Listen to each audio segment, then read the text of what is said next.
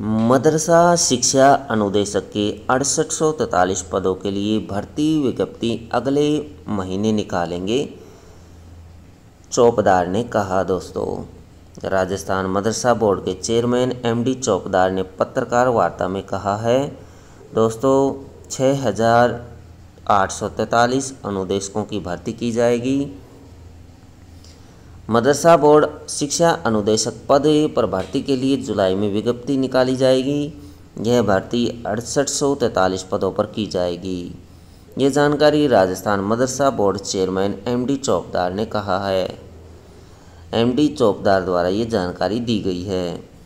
मदरसा board chairman बनने के पाँच पूरे होने पर पत्रकारों से बातचीत करते हुए मदरसा बोर्ड चेयरमैन चौकदार ने कहा कि उन्होंने विज़न बनाया है कि पाँच साल में जो काम किया जाना था, वह पाँच महीने में किया जाए। राजस्थान में 12 साल बाद मदरसों में शिक्षक भर्ती हो रही है। दोस्तों, ये भर्ती 12 साल के बाद होगी। अपने पाँच महीने का, की उपलब्धियों का बखान करते हुए Madrasa board chairman M D Chaukdar ने कहा है कि मदरसा शिक्षा अनुदेशकों का मानदेय बढ़ाया गया है।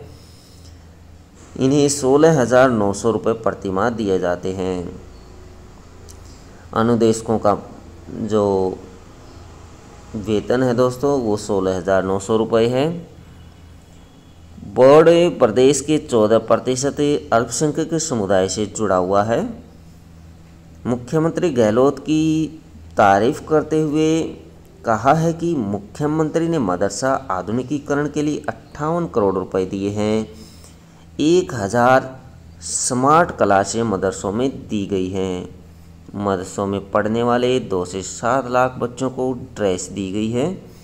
स्कूल बैग व अन्य सामग्री भी दी गई है। मदरसों में पाँचवीं, आठवीं बोर्ड है।